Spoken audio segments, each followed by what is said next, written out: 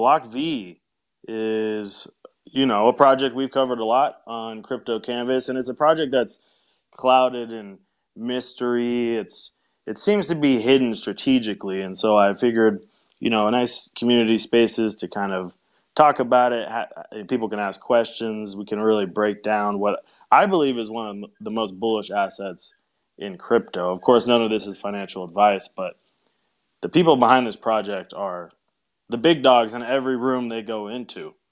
So it definitely deserves our attention. And uh, Wadzilla, I know you recently um, have gotten involved with with uh, the ecosystem. What, what are your thoughts so far? I mean, just looking over their site and who they've partnered with had me pretty shocked that they partnered with like the NBA and Doritos and you know a lot of these major brands, but they've gone. I don't know, just it seems like really unnoticed in the crypto space. That that put me in shock, and that also makes me excited at the same time. Yeah, it presents a massive opportunity. I think there's an asymmetry there. You know, we I think many of us have seen that graphic where it's like these eight corporations own everything, and it's um, you know there's Unilever, there's PepsiCo, um, a couple other ones in there, and Block V and their ecosystem, their network partners have have literally worked with almost all of those massive corporations that own 90% of what we see when we go into a grocery store. So it's very interesting that that type of stuff doesn't seem to get people's attention. Why why do you think that is? I mean, I don't even know. I want I wonder how is it like I want to know how is it being used. So let's say they're partnered with Doritos, right? Like how is their um, NFTs or what they're providing like how is Doritos using that? Is it like the code that you use on a bag of chips or do you know how that works? Yeah, so a big thing that they talk about is the interface moment, which you know I've talked about a lot on this channel, but some people might not have heard about it before. But essentially, it's this moment when the complexity of a technology gets hidden. So the browser sits on top of the internet, which allows us all to use it without having to be tech geeks. And so they're taking that approach to blockchain. So a lot of these campaigns that they've run with Frito Lay's and PepsiCo and Yahoo and American Express and Intel, et cetera, et cetera, they're running these campaigns, but the users don't even know they're interacting with NFTs. They're just digital objects. All the complexity is hidden in the background. Nowhere does it say it's an NFT. And essentially, what this is doing is it's building a one to one relationship between the brand and the end consumer and skipping the middleman of all those marketers uh, that is super inefficient for both sides, right? The, uh, the corporations are having to pay these middlemen all this money.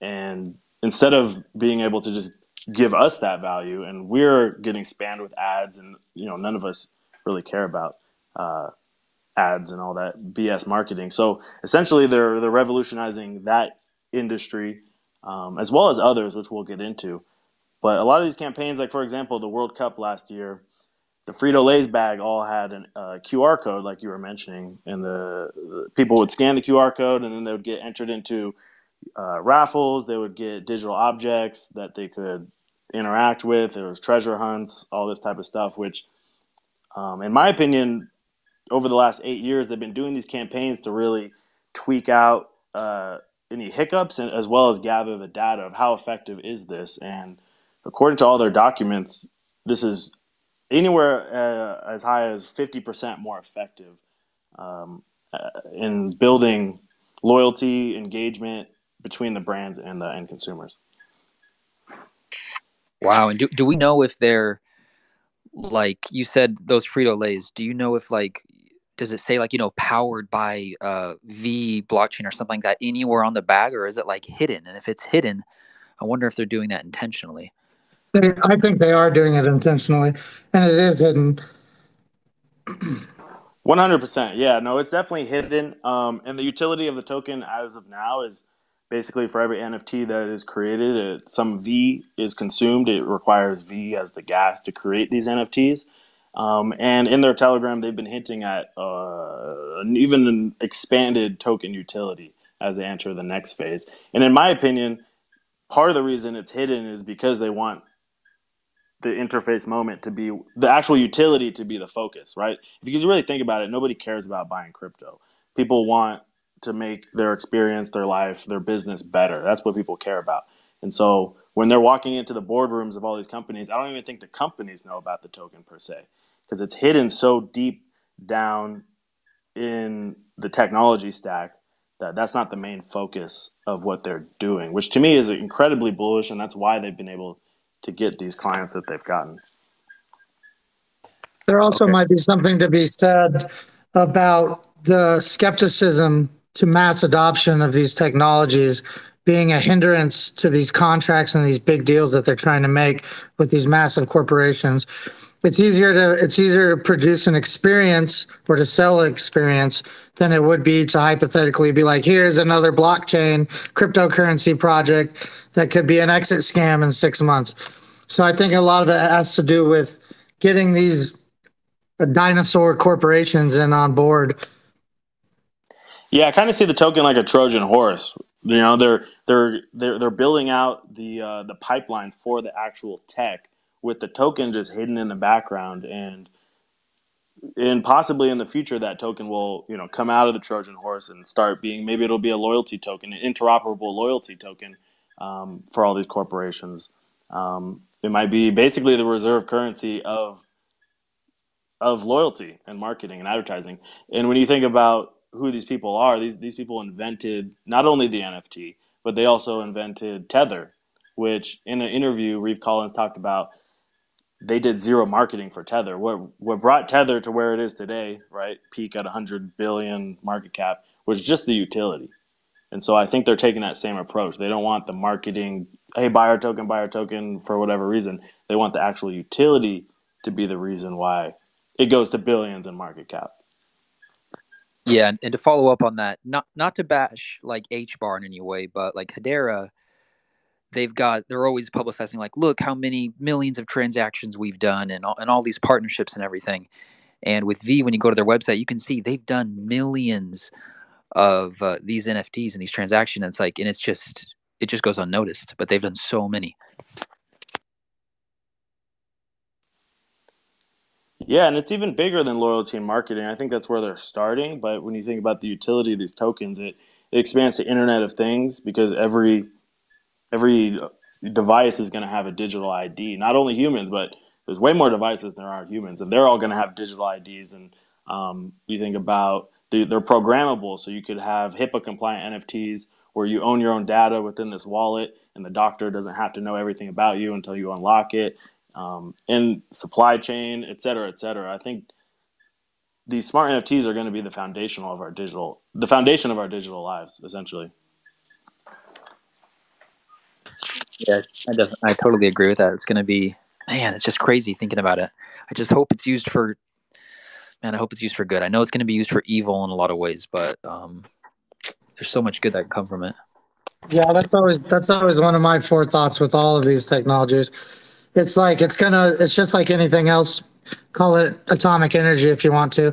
You know, that straddles the line between massive propensity for good and, and also evil. So it's just something that mass adoption and, and awareness by the culture overall is going to be required to kind of keep it in check. Right. And uh, I want to backstep just a little bit because I know you, you did say that um, with Block V, you know, creating these NFTs, um, you said a little bit gets burned each time. Now, is it burned like in the sense of like burned, gone forever, or does it like go back into a pool and, and get redistributed? Do you know that? Yeah, so half of it goes to the node operators, and then half of it goes to the stakers. So that's I don't I don't think that's the classic definition of burn, but it uh, gets redistributed to the participants of the ecosystem. Do you know what's required to be a node operator? yeah, I've looked into it. I'm definitely interested in it, but as of now, it requires 100 million tokens. Um, oh, damn! Which yeah, and not only that, plus actual approval by the the node operators, which right now there's four, I believe. There's Vatom, there's Smart Media Technologies, there's BlockV themselves, um, and I think there's one more. I forget which one. Wait, you're telling me they have four nodes and they can run all of this? Like this? That that's that's crazy. Yeah, I mean it's definitely centralized. I think um, I think a lot of these institutions, these platforms like whether it's WadzPay or Stronghold or Block V. I think they're starting centralized because it's easier to actually get adoption that way, and then over time you can scale to more decentralized, and that's where possible node opportunities for people like us might come into play, where they might lower the amount required to run a node. Obviously, I'm speculating here, but they did actually hint at that um, in their press release about something called the Smart NFT Association that they're they have in the works. Okay. Um, so, can you speculate with me? Where, like, where do you see this project going? I mean, I'm a full, the next year or two. You know, this next bull run.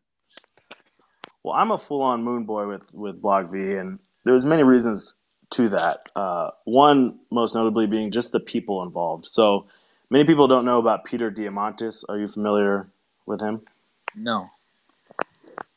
So I always say he's basically like Elon Musk without the fame. Like he's one of these like tech gurus. So he has a company called um, X Prize, which he actually launched with Elon Musk. They're, they go way back. He has um, he's behind Singularity University. He's basically like the godfather to all these tech people. Like even the the team behind um, Stronghold, they they they all went through string, uh, Singularity University. So he, he's a big dog, and he he's the one who coined the term interface moment. And so I believe what they've done is they've built the distribution channels, they've worked out the tech for almost 10 years now, and they have a watershed moment planned where essentially they're just going to unleash this across all ecosystems essentially within the course of like a very short amount of time. If you do a little bit, if you do a little bit of cursory digging too, you can see the conditions being set for some big announcements coming in the future. And you we found a lot of material in our research that has shown that these partnerships are ever growing. Yeah, I believe that uh, they have they have Amazon already in the bag. They have Microsoft. They have Google. So so interesting about Google is so basically you have BlockV, which is the technology engine, and then they built so far two companies on top of BlockV. One being Vatom, led by Eric Pulier, the inventor of the NFT, and he also co-invented the browser. He was a part of that ecosystem. So these are like the OG tech guys. And Vatom also creates metaverse environments. And Google held their worldwide company get together in the Vatom metaverse. Over 22,000 people were in their Vatom metaverse already. So that shows that this platform is getting chosen by Google. Like I said, uh, Microsoft. Uh, I've seen Visa in there as well. Um, I think they're going for the whole shebang. This whole Starbucks campaign that they're so Starbucks has a loyalty campaign in beta right now, which is all built around these smart NFTs. So I believe that's built on Block V, and I think they're they're going to unleash across all these mediums all at once, essentially, even YouTube as well. Wow, so it's got to be really cheap to run their token. If you know if they're pushing it through all these companies, it's got to be like very inexpensive for them and all these uh, major companies. I know they like to see, um, you know, this long time frame. You said like ten years they've been running or something like that. Like that looks. They want to see that you know it's been running operational. Everything's been running smooth. Yeah, because it's a big risk for these corporations to just um, uh, revel, you know, Im- implement their a whole new technology. You know, it's a very big risk. These are billion, sometimes trillion dollar corporations. So it takes time. And I think they wanted to keep the token hidden so that they could build in silence, right? There's a lot of competitive advantages to that. Um, also, regulatory, possible regulatory advantages to that. And so I see, I see some very big things coming for these guys. Jeremy, what did you say here? Oh, sorry. I was saying the same thing basically. Uh, we when we were doing a bunch of research through this, um, I think I think that they're I think they're in the stage where they're getting ready to announce. I'm not who who's to say how long that would be, but I would I wouldn't be surprised um, if it's in the next you know six to eight months we hear some big news from them. For sure, and if you really think about what made Facebook what it was, right? Uh, one of the biggest corporations in the world, is really all around data. Many people didn't realize how valuable data was um, 10, 15 years ago. And what Block V has built is revolutionizing the entire data economy, which you know they say data is the oil of the 21st century because essentially through these Web3 wallets, you're gonna and zero knowledge proof technology, you're gonna own your own data, cut out the middleman, and you're gonna have a one-to-one relationship with your favorite brands, and they're gonna pay you to access your data, right? So you can deny people, you can accept people, and then how they'll pay you is they'll give you experiences. They'll give you dynamic pro- programmable objects that can be redeemed for discounts or for real world objects. Um, and it's a pretty big deal. They call it zero party data. Yeah, we recently discussed a lot of this in a recent podcast with Ian Buswell on the page. So if you guys want to check through that just to see kind of an idea of the possibilities or, or the, the maybe um, possible use cases of these NFT technologies. We went over a lot of it in there. Was that the video with the lawyer? Uh, no, it was um, I think podcast, podcast number eight. Number eight, yeah, with Ian Buswell. Okay, I'll listen to that. And also, if you look at the relationships they've built with Deloitte and Accenture, um, they have a very strong relationship with them. The entire Deloitte metaverse was built in Vatom. Um, the Accenture ecosystem has been using smart media technologies for all of their campaigns over the last five years. And what's so interesting about those corporations is essentially they're the the holding corporations for all the other brands that we all know and love. Right? They're the the consultants, the advisors to all the brands we know and love. So it seems like Block V has strategically targeted the top of the pyramid, and once you lock that down, then you, then everything else just just falls into play. So difficult to get this coin. Also, like it is. It was a little tricky. How'd you end up getting it? Uh, I went through uh, Zapex and I ended up converting ETH, and then it like it hopped like maybe seven or eight different times, and then I got bridged over into Polygon, yeah, it was it was a little tricky. gotcha.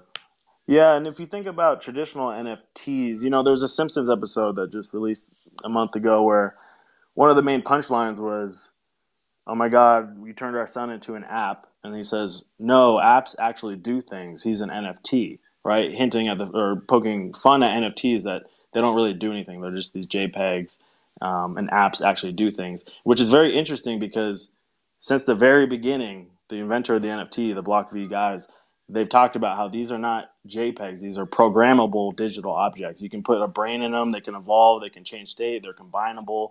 They can. They have a listener to the internet. So if you think about ticketing, for example, you, your ticket will be a smart NFT, and if the Lakers score over 100 points, it your NFT converts into a free bag of popcorn next time you come, or it or it uh, changes state into a highlight of LeBron dunking on Dwight Howard, or something along those lines.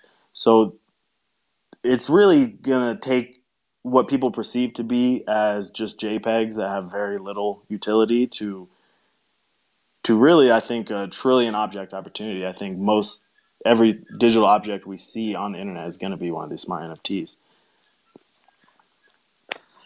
Yeah, I 100% agree with you. And and what shocked me also was you know Casper, a lot of people know the Casper Casper partnered with BlockV and Smart Media. So I wonder if that's where they're getting some of their technology from, where they're saying, "Hey, you know, these NFTs are can upgrade and stuff like that." I'm like, I'm wondering, you know, what that partnership is actually bringing to Casper. I think you're dead on on that one. Yeah, I heard Reeve Collins talk about you know Reeve Collins and then I forget her name, but the the CEO of uh, Casper they were actually on a forum together at the World Economic Forum. Um, I think in 2021 or 2022, and one of the things Reeve was saying was, you know, BlockV is blockchain agnostic, right? So it can run on any of these blockchains essentially. But what's interesting about Casper is it was the first time where nothing had to be changed. It was just a perfect fit because Casper, the layer one, is also upgradable. So it's almost like the smart NFTs of, of layer ones, where the smart contracts can be upgraded. So it's just a perfect perfect fit. And both of those ecosystems are working with a lot of the same corporations. Man, if you're right about this, then BlockV is going to be like, I don't know, it's going to be like no one saw it coming, but if you looked into it, you you would have saw it coming. But it's it, man, It could be massive. Yeah, I mean it's a fifth of a penny with 92% circulating and a 7 million dollar market cap. So I mean, if you look at Gala Games, it went to 20 billion market cap. So if Block V does that, that's seven dollars a token. So what I wonder is why is it so? Like when I was doing a purchase, a, a, a decent purchase, um, I was influencing the price quite a bit. Like it, there's not that much on the market. It seems like. Like I'm wondering, is most of it in staking, or do the partners have most of it? But like, there's not a lot on the market, which will make the price move really quick. Yeah, I think in staking, there's roughly 10% in the staking pool. And I think at this point, a lot of people like us know what it is. And like, I'm not selling anytime soon. So I just think the, the liquidity is, is super, super low uh, for those reasons. And I know the founders, you can look on there and you can see the founders' wallets. They all have not sold, have not moved any tokens since since the launch of it. So they also have a stake in it, which is always good for me to see um, that they they have upside as well. Yeah, that's good, and that can keep the SEC away. Not, not trying to like sue them for you know anything like that. Selling the token for their benefit. Yeah, and I would imagine that is part of maybe the concern that they've had um, around not marketing the token and trying to keep it hidden is just to keep the SEC off their ass, as well as you know these other reasons we've talked about um, because they did do an ICO. And what's also interesting is the people behind this actually invented the ICO. They did the first ever ICO because there's these other characters involved named uh, Craig Sellars and Brock Pierce. Um, were also on the founding team at Block V, and before, right before Block V, about two years before that, they did the first ever ICO. Um, but Ma- uh, World, no, I forget what it's called, Mastercoin or something like that. So I mean, the pedigree of these guys is crazy. They invented the stablecoin, they invented the NFT, they invented the ICO, they invented the the browser. it's it's like the most stacked ecosystem I've ever seen, and um, I believe yeah, they're definitely hiding the token. So, what gives you this theory that they're going to be releasing this on like multiple chains all at once? Well, they did a press release. Um, I'll post it in the nest here. Um, a few months back. If you read it, it's incredibly bullish. Um, and they've talked about in many interviews having a watershed moment, which uh, is essentially a moment, you know, where like the Chat GPT moment of crypto, essentially. Because if you think about it, Chat GPT just dropped and then boom, now everything changed. And I think that uh, Block V could have that same effect when they open it up to everybody to use and build on top of that's kind of just where I see see things going. Yeah, Chat, Chat GPT was like overnight. That was fast. Yeah, essentially, it's the interface moment for AI, right? So you don't have to be an AI developer; anybody can use it.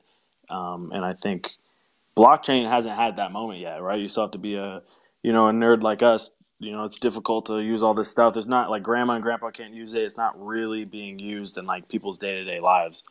And um, since the very beginning, the, fir- the first pages of their white paper talk about how Block V is going to be that moment for blockchain itself. And I also think with blockchain, I think most of the value, and Ian Buswell talks about this, how a lot of the value isn't going to be at the infrastructure level as much as the application level, um, which is even more bullish because that's essentially what Block V is the application level for blockchain. Right. And they're targeting the enterprise level. I mean, like they want the big boys, and uh, as you were saying earlier, that's who they're partnering with. Yeah, I think those deals are are pretty much all signed. Um, if you look at the Vatom website, they've got the Nike logo there. They have the Apple logo there. Um, they have Starbucks, of course, Coke. So I think if they're if those logos are on the website, that means those deals are already already signed and done. All right, so I'm not educated. What what's the difference between like smart media, Vatom? Like, is there a Block V? Is this like just all one large company, or is there, you know, s- smaller companies that have merged, or is this, you know, can you explain that? Yeah, it is confusing, but uh, the way I've thought about it is essentially they went out, they created. Uh, here's an analogy, right? They invented the browser, and then they went and created companies on top of the like the basically the first ever websites or companies that go out to the big brands and say, "Hey, we have this browser technology. We can help you build on top of it." Um, and the founders of BlockV, Reeve Collins and Eric Pulier, split off and made two kind of uh, sister companies Vatom and BlockV, uh, Vatom and um, Smart Media Technologies. And then those companies go out and build the relationships with the corporations. Don't know if that makes sense, but I mean, yeah, they're they're just yeah making the separate corporations probably with their own purpose. So, yeah. Yeah, from what I've seen, Vatom kind of focuses a little bit more on metaverse environments. They talk about how every website's going to have a come inside page. Because right now, if you told your mom, hey, let's meet at, you know, shoes.com, she's going to be like, what the hell are you talking about?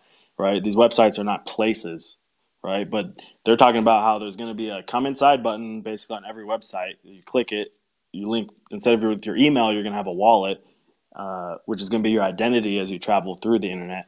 You can go into the website, and now that website comes to life essentially. It becomes 3D. Um, and that seems to be what Vatom is focusing on a lot. They also focus on wallets, but smart media technology focuses on very heavily on the wallet application of, of the tech. Man, that would be crazy. Just going to like Nike.com or any random website and just getting into the website, and then you can see like, hey, these are all the other people that are on this website right now with like a space to hang out. That sounds pretty cool. Yeah, and then you think about the AR application. You could AR try on the watch, or even AR. You know, you combine the uh, the glasses that Meta is rolling out or Apple's rolling out, and you can virtually try on clothes or all that type of stuff. And then there's going to be a sales associate in the website that you can talk to, and all that type of stuff. And then even further down from that, when you do buy a new Nike product or a new Apple Watch or whatever it might be, that's going to be transferable content via NFT to all your other virtual spaces. 100%, you know, and and they have relationships with uh, a lot of these major gaming companies, right? EA Sports, they've got that deal seemingly locked. Um, Eric Pulier just did a, uh, a discussion with the lead people from Epic Games who are behind Fortnite, and I believe they've already done NFTs in Fortnite, and the players don't even know. so uh, I think they're way farther ahead than they've they've they've built themselves such a lead that they're almost untouchable, and now it's just a matter of of them coming out and fully uh, unleashing publicly. Crazy. So not financial advice, but where's their market cap at right now? Seven million, dude dude, that's crazy because Casper is like, it's probably working off a lot of their technology, and Casper's up to like what 400 million or something. Gosh. Yeah, that's something we, I, you know, I like to specialize is these micro caps, and I, have looked through hundreds, if not thousands, of them, and since I discovered Block V, everything else just seems like child's play. Like everything they're talking about, every other company is something Block V's been working on since 2016 with the biggest companies in the world and yeah, seven million market cap. It's like, what kind of opportunity do we have right here? And what's what's mind blowing to me is you have such smart, brilliant people in the NFT space like EllioTrades or Alex Becker, and seemingly they don't even know about this, which is mind blowing to me. That like, how can you be so? How can we like not even just picking on them? Just how can people be so, you know, bullish on NFTs but not even pay attention to what the founders of the NFTs are doing? It's it's insane that it's flying under the radar like this. It really could just be that they're a lot of people are trying to hold it close to their close to their vest. Because it doesn't make sense otherwise. You're right. I don't. I don't see why they wouldn't be aware of them. Yeah, one hundred percent, for sure. I mean, even while I was accumulating, to be, transparent, I was like, I'm not telling anybody about this until I pack my bags because it's just so bullish. And there's such low liquidity. If someone comes in with a couple hundred grand, the price is going to go up uh, significantly, which is just more bullish for when this gets unleashed because I think billions will come into this asset. The market cap is smaller than WASDE. That is wow. That just blows my mind. It's so under the radar that even right now, I mean, every token, uh, even the scam tokens, are going up hundreds of percent right now. you know, and BlockV isn't doing shit, which can be annoying to some people, but it just presents massive opportunity on the other side of that. Yeah, yeah, I might have to pick up like a few more million. That's this, this sounds really good. All right, well, thank you. I don't have any more questions. You definitely made me a lot more bullish on the token. Does any of our listeners, I see Crypto Knight, Nick, anybody have any thoughts or comments on what we've been talking about um, so far? Jeremy, do you have any VEE? No, you keep harassing me about it. I really do need to get some. I think uh, I think I'm going to be doing that pretty soon though because I don't, I don't want to miss this bus. I missed so many last run. Yeah, one of the smartest people I know in this space, Brando, he um he he's done a lot of really amazing things, one of the best I've ever seen, and he believes this is more bullish than any asset he's ever seen. So the confirmation is coming from a lot of directions right now. What's up, Nick? What's up, guys? Can you hear me? Chilling, chilling. Yes, sir. Loud and clear. Nice. Uh, yeah, no, it sounds like a really interesting project. Uh, this is pretty much the first I'm really hearing about it, but all those partners you were talking about, and you know the uh, the people leading the company, it sounds sounds like a strong project for sure. Interesting that it's under the radar. I mean, there's so many projects, though. It's it's kind of easy for things to go under the radar, you know. So I'm gonna I'm definitely gonna be looking into it though. It sounds really. What was the market cap of it? I mean, no. What was the uh, the, the supply total supply? Three point six billion. Three point six billion. Okay, so good good tokenomics, low market cap, good partners, good team. Sounds like a good project. Yeah, I mean, I feel like most projects they'll they'll announce one big partner and then everybody goes super crazy. Meanwhile, Block V has all the partners, uh, and uh, and the team is the most bullish I've ever seen. Yeah, that's cool. I'm gonna look into it. I have you guys done any uh, any videos of it? Any YouTube videos of it about it? Yeah, definitely. I kind of launched this channel uh, really my first 10 videos were all about the ecosystem. So I have a playlist section on the Crypto Canvas YouTube called the BlockV playlist, where if you make it through that, it's probably about an hour content. Um, you'll definitely have a very good understanding about all the nuances. I'll check it out for sure. Yeah, there's uh, there's so many projects out there. It's really if we can find a few that are gonna you know make it through this. Uh, make it through the purge, then uh, we should all be doing really well. Yeah, all it takes is one. You know, Gala last cycle did a three thousand x. Oh, don't is... don't don't don't get me started on that. yeah, I bought a node when it was like two thousand dollars, dude, and I just kept spending Gala. I just kept spending it, spending it. If I would have held it, easily a millionaire, easily. Like I got on the bus and, and I got off the right the, the next fucking stop. Damn.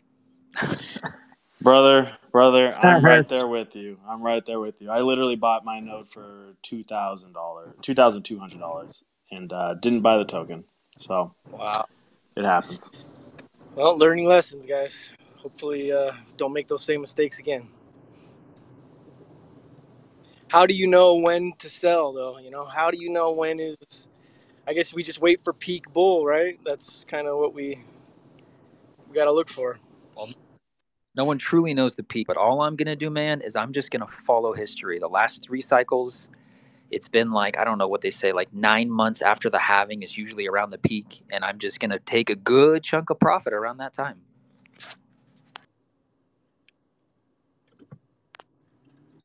I did not do that last time.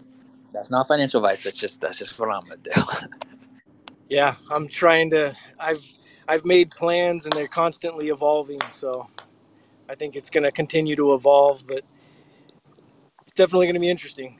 And I definitely want to look into uh to the project you guys have been talking about. It's so it's it's pretty much all based on like the, the utility of it is all based on NFTs. NFTs are the foundation, but there's also Web3 wallets. So there's something I highly recommend everybody look at, which is the Open Wallet Foundation. Their website's openwallet.foundation. They're part of the Linux Foundation. Um, some of the members there include Microsoft, uh, include Google, include Visa, and um, Smart Media Technologies, which is built on BlockV uh, is the found one of the founding members of that association. And in, in, in an interview, Reeve Collins talks about how this foundation is going to be using their technology to roll out their wallets. Um, and in a lot of their presentations, they talk about how the wallet is actually the browser of blockchain, right? It's going to be that that uh, killer app, the actual use case. Everything's going to be centered around the wallet because it revolutionizes the data economy, the, the ownership economy, and identity uh, is going to be solved uh, on the internet through the wallet. So they also focus on that. Of course, you know, there's extracurricular things like AR and VR and 2D and 3D and metaverse environments. But the foundation is the smart NFT um, and the wallet. I just got a question I, I forgot to ask. Do they have their own layer one? Like, because I know, like a mainnet chain, because I know they're using Polygon, they're using Ethereum. Do you know if they're ever going to make their own? Yeah, so they're blockchain agnostic. So yeah, they do definitely use Polygon. They're definitely a big player in Polygon Studios. Um, but they can also be like like we talked about in Casper. They can be on any blockchain. Period. But they do have their own layer one, and so that is something that they've they haven't really built it out or done too much with it yet. Um, but in their press release about the Smart NFT Association, they they teased at uh, expansion of of that ecosystem of their of their layer one. Awesome. All right. Well, yeah, I'm definitely going to be picking up some more of this. I just got to figure out which other token I'm going to take a little bit of cream off the top. Um, thank you so much for inviting me, though. I'm gonna I'm gonna head out. You guys have a great night. Yeah, you too. You too, brother. Thanks, Wadzilla. So I, I was just I was thinking about how earlier you were talking about like the you know the digital experience you were saying something about like a shoe store i think and you know how you could kind of go go into this shoe store on the web in the web 3 i don't know if i'm ex- describing this correctly but you were saying something about shoes and like an nf yeah yeah i was giving just Hello? the shoes were just an example yeah it was just an example um yeah, no, I was talking about how uh, Eric Pulier talks about how every website will have a come inside button because they're adding people, places, and things to the internet. So people is your identity through your Web3 wallet. You'll now have an identity as you travel through the internet. Um, places will be the websites will become places. So you'll have a come inside button where you go inside the website, and it becomes a 3D immersive environment. So I wonder, like, will you be able to go? You know, because I don't like to buy shoes online, to be honest, because I like to try my shoes on. So I wonder if there will be like a, you know, some kind of way to to make it where people could virtually kind of try their shoes on, make a little experience out of it. I'm I'm 100% sure that's something that that, that they'll work into it at some point. I mean, it, it makes total sense when you have a total virtual world laid on top of the real world that you would have all of the services and goods that you could acquire in the real world inside the virtual one. Right, like virtual fitting rooms. You can go try on a shirt, try on some pants. That would be that would be very interesting. Yeah, and when you combine like what Apple's rolling out in only a month, I believe, is like their their AR goggles. And I believe their developer version, that's why they're so expensive, but that is definitely where everything's headed is this uh, AR immersion and blending that barrier between our digital and physical lives. Um, and these smart NFTs are going to be the foundation of that because every object in that virtual world is going to be a smart NFT. Yeah, definitely intriguing. So these the the founders of uh, some of the founders of V um, Block V they they developed or they created NFTs. Yes, sir. I believe in 2014 uh, they invented the first NFT and the first NFT platform, which is Block V. And they didn't envision JPEGs and gambling and speculation. They were thinking about the utility of it, um, because that's the way these guys think. These are the these are the big boys. They also because prior to that they invented Tether. Wow. Yeah. No, that is uh, that's some accomplishments right there. I was uh, when I first started when we first you first started the space. I was looking up Block V, and when I looked it up, uh, Gary Vee popped up. He doesn't have any uh, involvement in the project, does he? It's certain at this time. I don't think so, but who knows? Well, I will say that uh, Smart Media Technologies and VaynerMedia are partnered together, um, and I can verify that on LinkedIn. They they're always flirting with each other. They've been on panels together, um, and it is interesting. You know, some people would call it a coincidence. We, we don't know that the face of NFTs is his last name is Vee, and uh, the foundational token of NFTs is also called VEE. So could be a coincidence, could be the universe doing its thing, or it could be planned out. Um, there's no way to really know. Well, interesting. I know Gary Vee does he he has his own little NFT project, and uh, I'm pretty sure he's pretty bullish on NFTs. So.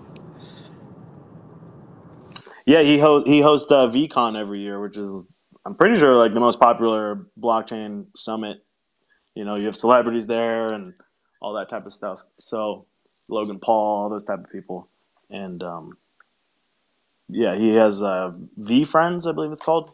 It's his NFT project. Yeah, that's what it is. Yeah, he talks about on a daily basis, pretty much. Yeah, I did. I you know I didn't understand NFTs when I first got into crypto. It didn't make sense to me, but now you know hearing the utility behind it, there's NFTs are definitely going to be around for a long time. Yeah, I was one of the few people in my circle of friends who didn't jump in and buy a bunch of NFTs because I didn't see the utility in the beginning. But once I once I expanded my knowledge base on what the true intent of them is, I think that they are going to be the basically one of the primary driving factors of the digital economy.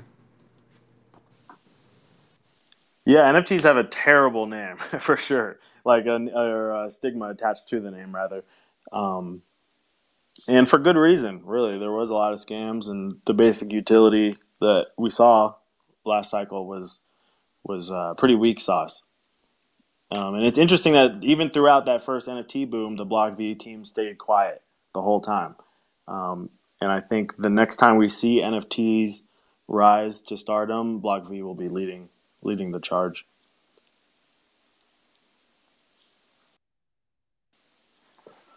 Well, I'm gonna have to pick me up. So, where do you? Uh, I heard uh, Wadzilla saying it's pretty complicated to, to purchase at the moment, huh? I mean, I've been buying mine on Uniswap.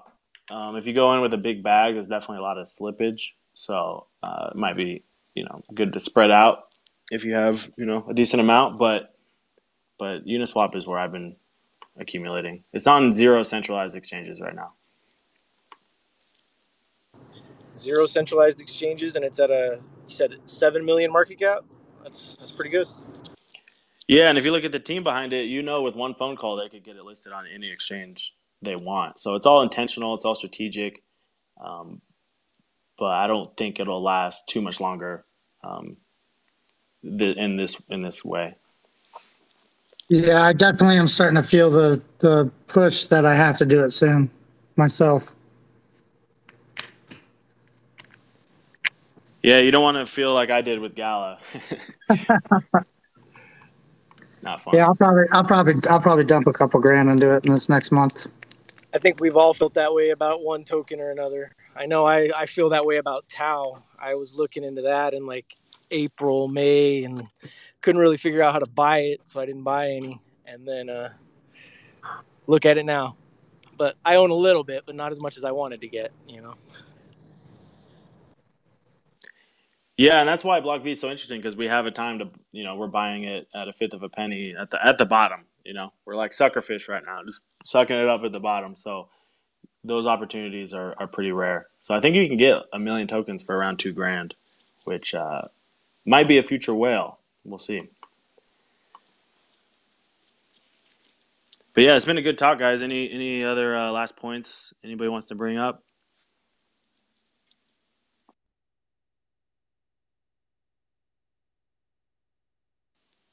We're all good. All right, appreciate you guys. And um, any further questions, just uh, slide in the DMs.